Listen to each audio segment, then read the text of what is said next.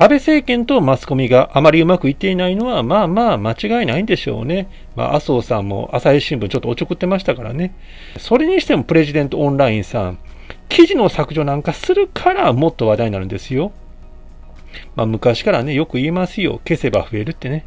皆さん、こんにちは。ハンニャです。ぜひともチャンネル登録もしてってください。で、先にこの動画の結論を申し上げますと、プレジデントオンラインさんは記事の削除理由とやってることは一致してないですよ。そして、なんかね、この話見ていると、最近話題になりました、立憲民主君っていうツイッターのアカウントのことを思い出しちゃいましたね。ということになります。で、今ですね、まあ、8月27日の午後6時頃なんですけども、ツイッターの方を確認いたしますと、トレンドといたしまして、世界の嫌われ者、史上最長無能安倍晋三の末路というものが表示されています。まあ、これはプレジデントオンラインさんの記事が炎上したことが原因なんですね。で、問題となります記事は8月27日の午前9時15分のプレジデントオンラインの記事です。題名は、世界の嫌われ者、ムン・ジェインにも乾杯。史上最長最悪、病弱無能総理、安倍晋三の末路というものなんですね。まあ、ひどいですよね。ただ一瞬、あれって感じはしますけどね。で、軽くね、この記事の方を確認しておきましょう。とはいえね、結構長い記事なので、まあ、段落ごとに、えー、章題がついていますから、そのね、えー、段落ごとの題名だけをとりあえずご紹介いたします。で、執筆者は、まあ、麹町綾子なる人物で、1987年生まれのフリーの記者だそうです。そして、えホームページには、婚活中とありました。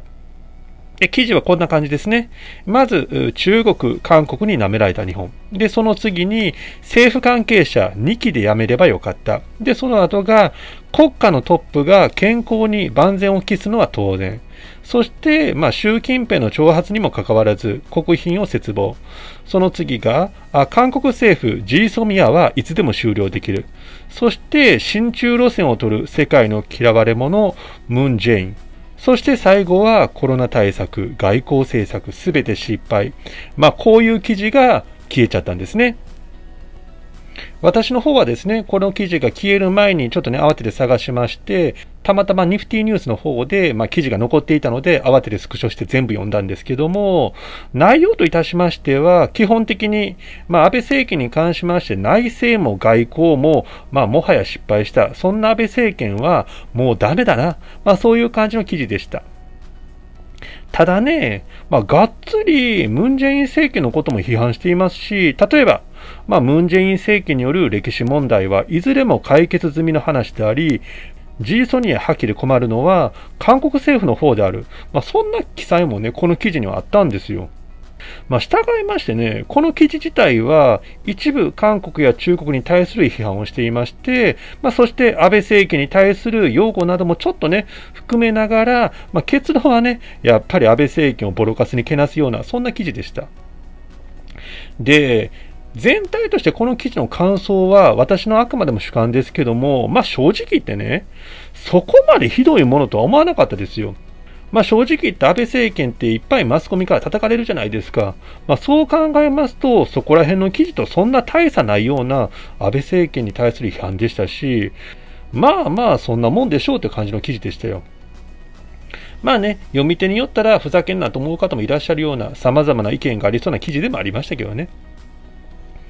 で、この記事がですね、まあ、ちょっとさっきも言いましたけども、8月27日の、まあ、午前9時15分朝に出たんですよ。しかしこれが炎上しました。そしてツイッターで当日27日の午後4時55分に、プレジデントオンラインさんのアカウントが以下のようなお詫びとともに記事の削除をした旨を説明していました。8月27日にプレジデントオンラインに掲載した麹町綾子の記事を削除しました。本記事は総理大臣の資質として、病気であるか否かだけを問うものではありませんでしたが、編集部がつけたタイトルによって、それが必須の資質であるかのようにも取れる印象を読者の皆様に与える結果となってしまいました。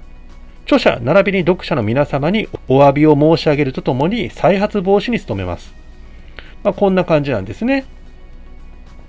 で、皆さん、このね、プレジデントオンラインさんの謝罪文を聞かれまして、どんな風に思われますか、まあ、これって結構ね、めちゃくちゃやと思うんですよ。私はね。この謝罪文通りの話でしたら、麹町綾子という人の書かれた記事に関しましては、勝手に編集部がつけた題名が、まあ、中身と違っておかしなことになっていたから、編集部が記事ごと削除したって言ってるわけですよね。まあもちろん麹町さんが許可したっていうことは前提なんでしょうけどね。でもそういうことですよ。しかしですね、皆さんふと思いますよね。いや、だったら題名だけ変えるなりすればいいやん。中身問題ないと思ってるんでしょ？そう思いませんか？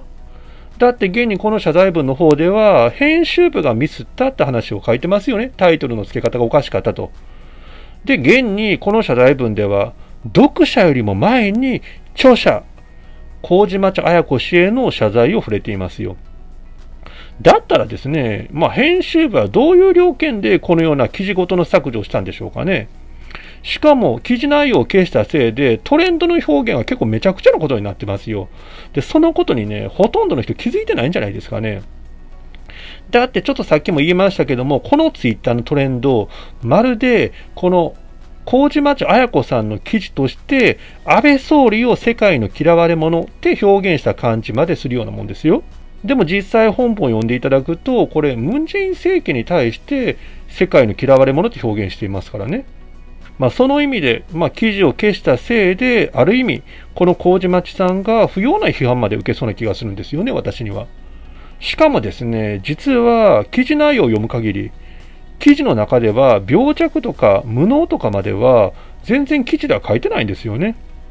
まあ確かに一部ね、まあ、体のことも書いてますし、まあ、無策とか書いてますけども、まあ、病弱とか無能とまでは表現使ってないですよ。記事の中では。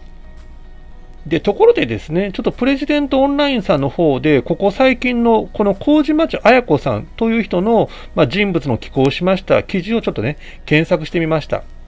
で、まあ結構ね、何十個もありましたから、最近のものだけ私がピックアップしたんですけども、こんな感じです。8月26日には、ただの野望に希望はなし、帰ってきた悪夢の民主党、金と保身の神道爆誕に全国民が絶望とありますね。そして8月24日は、そろそろ現実を知るべき時、在韓米軍撤退で完全孤立のムン・ジェイン、世界に冠たる大韓民国の野望はどうなるそして8月21日には、いつまで雲隠れしている甘えるの安倍晋三、対コロナ戦争中に指揮官が健康不安、もう国民は限界です。そして8月14日には、真のニューリーダーになれるのか、土下座野郎安倍とは正反対、コロナに倍返しするのは吉村磯人総理一択だ。そして8月5日には、おい、血税を返せ安倍晋三は日本国民に土下座しろ !250 億円で追加マスクをばらまきかけた狂気に絶望。そしてちょっと飛びまして6月10日には、誰よりも批判したからこそ言える。アフターコロナの結論。やっぱり日本には安倍晋三総理が必要だ。まあ、こんな風な話なんですね。まあ実はこのね、えー、麹町彩子さん、このホームページを見ますと、今年の3月31日から、まあいくつもね、記事を書かれていますけども、この人、結構ね、安倍政権に対してずっと批判してるとかいうよりも、全方に対して結構喧嘩売ってるんですよね。そしてさっきもちょっと触れましたけども、一回は安倍さんを結構褒めてるんですよね。まあよく言えば柔軟、まあ悪く言えば尻滅裂な感じがするんですよね。ところでですね、ちょっと先ほども申し上げましたけども、そもそもですね、記事内容としましては、そこまで批判されるようなものではなかったと私はね、今回削除されたものについては思っています。まあ、すなわち、他のメディアとそこまで言ってること変わんないですよ。しかし、プレジデントオンラインさんの説明によりますと、編集部がつけたタイトルによって、まあ、誤解を生じさせるものだったということで、記事ごと消したんだということでしたね。で、ふと疑問に思いませんか？あれ？本当に麹町彩子さんっているん？で、そういえば最近、立憲民主君なるアカウントで、まあ、ツイッターで、1980年6月12日、大平首相死去70歳。2000年5月14日、小渕首相死去62歳。2020年安倍晋三首相、現在65歳。20年おきに起こった総理大臣の健康問題。安倍さんは十分に気をつけてほしいですね。まあ、こんな風に立憲民主君なるアカウントの方がツイートしたところ、立憲民主党の公式アカウントが、この立憲民主君ってうちとは無関係ですよと。